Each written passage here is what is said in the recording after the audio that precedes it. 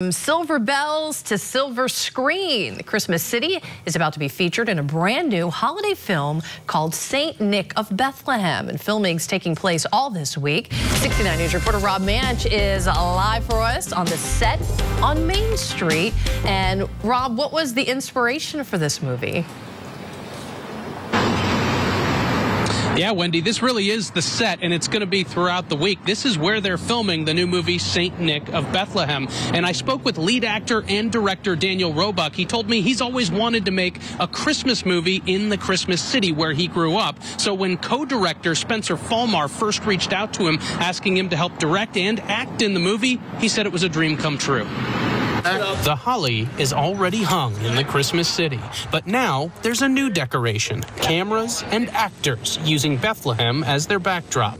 That includes St. Nick himself, Daniel Roebuck. I make movies here because here is the greatest place on earth. The Lehigh Valley is my magical Eden. An Eden that he was disappointed to see was not highlighted in the Hallmark movie Miracle in Bethlehem.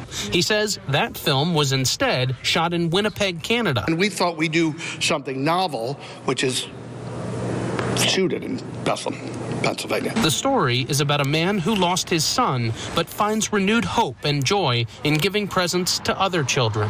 It's a script written originally by co-director Spencer Fulmar, who reached out to Roebuck to play St. Nick. He said, this is a dream role of mine. It's something I always wanted to do. He started growing out the beard, and as you'll see, he is the real Santa Claus. The movie will feature several businesses in downtown Bethlehem, including the Hotel Bethlehem and the Snow Goose Gallery. He approached me on Friday and told me about the movie, and he goes, Can we use your storefront? And I said, Absolutely. Gallery owner Mary Surface says one of the characters in the film is even based on her. When Danny introduced me to her Saturday, he goes, Oh, she's playing you. I'm like, Oh, okay. The movie is set to film this week and finish filming in the spring. Hopefully, the movie is the gift we're giving mm-hmm. to the Lehigh Valley.